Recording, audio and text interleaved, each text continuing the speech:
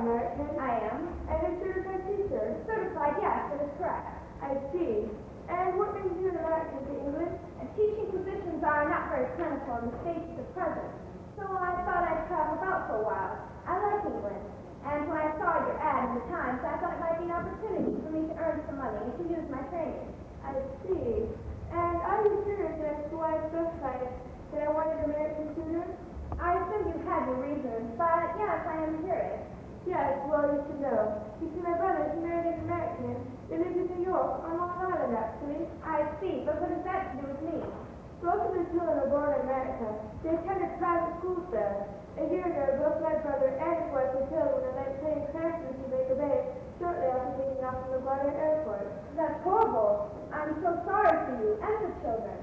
Thank you. But you see, this the two children parents, and since I am the only living relative, I asked to be and was the legal guardian. And you brought them to England?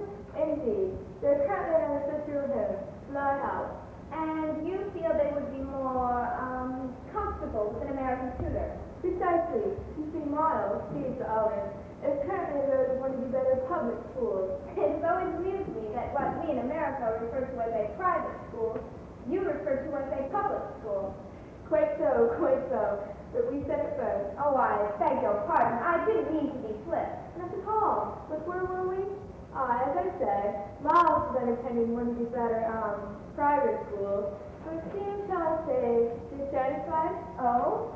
And his younger sister Flo was under the tutelage of an Englishwoman, a Miss Jessel, excellent references, credentials, and all. But I have to replace her. She was dismissed? In a manner of she died. So now with the summer holidays coming up, I thought that'd be a good time to interview another tutor. And here I am. Quite.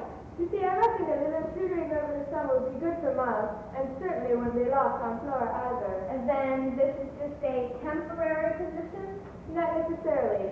You see, summer months would give the new tutor an opportunity to see if she could adjust to a situation in which to remain obliged. I see. I want to an American tutor, thinking she could probably relate to these children, particularly Miles. Of course. England is a long way from. Where did you say you were from? North Dakota. Exactly my point. A long way from North Dakota.